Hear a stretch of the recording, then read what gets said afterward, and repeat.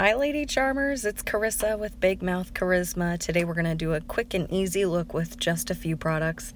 I've started with a half pump of each Ivory and Dewy MakeSense Original Foundation, and I typically do like to use my fingers to apply my foundation. Um, you know, I've heard that brushes do an even better job, and I might get into that soon, but fingers work well for now. I'm going to use three ShadowSense colors today. This is Candlelight. It works as a great brightener, highlight, concealer. I'm also going to use Bronze BlushSense. So I put a little bit on each finger and then I just carefully uh, apply that to where it's needed. Patting it on, not rubbing too hard around my eyes. And then I apply just a little bit of Bronze BlushSense. Continue smoothing in the candlelight and then add some of that nice golden bronze BlushSense to my eyelids as well. Now I look like I've been kissed by the sun.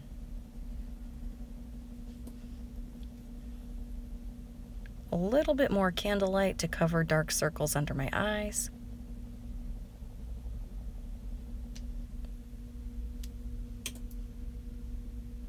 And now we're going to get into a little bit of pink opal shimmer, one of the colors I used so frequently. In the corners of my eyes, underneath my brow, and above my brow as a highlight. Now just a tiny little touch of pink posey to add a deeper color to the corner of my eye.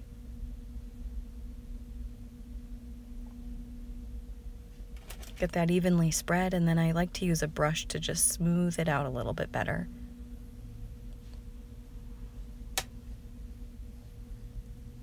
Quick comb of the brows, why not?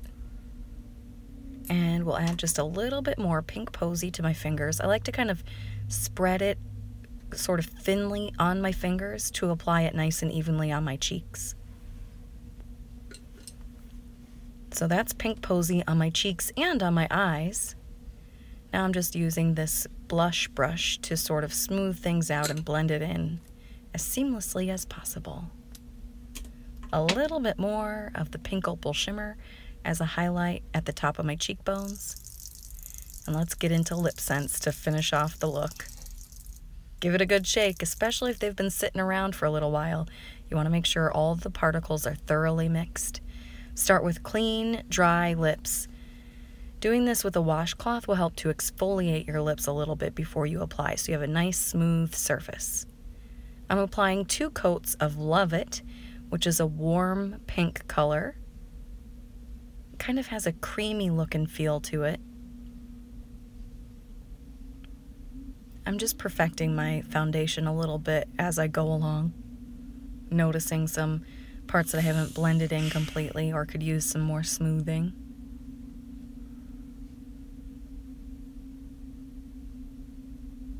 So there's layer of two of Luv It.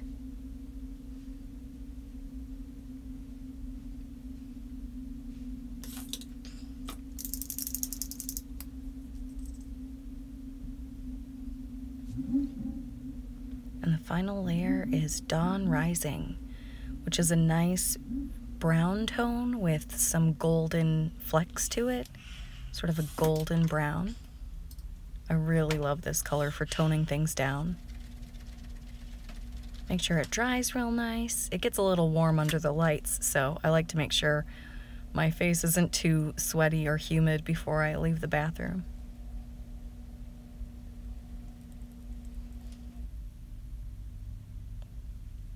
And I let it dry really well and apply my glossy gloss.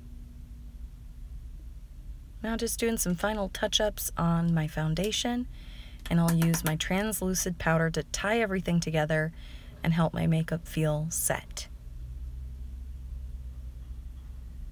Make sure you do sort of give yourself a transition between your ears and your face. So you do want to apply just a little bit of product to your ear area.